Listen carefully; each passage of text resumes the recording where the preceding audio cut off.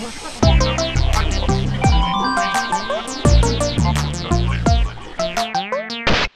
guys, John Biggs with CrunchGear here, and I just installed GeoHot's jailbreaking program for the 3GS. This is what I used to install it on. I'm a Mac guy, so I didn't have a lot of things.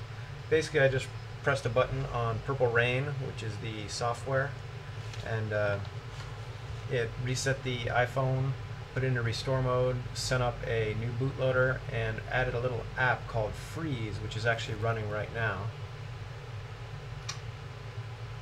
and it's been going for about five minutes. It takes a while for Cydia to download, apparently. Um, this is going to be going for about five minutes.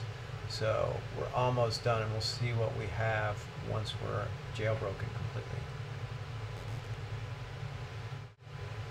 Alright, we're all finished, as you can see. Get out of there. Cydia should exist somewhere.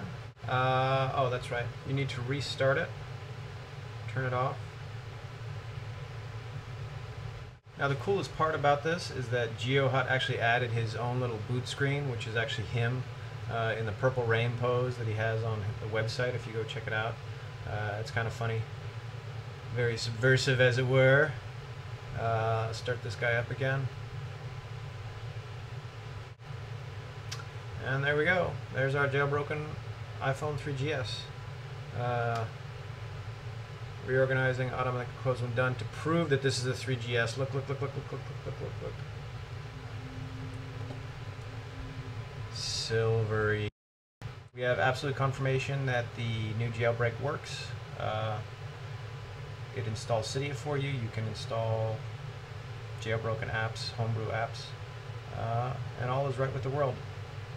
Have a happy holiday. John Biggs from Crunch here, signing off.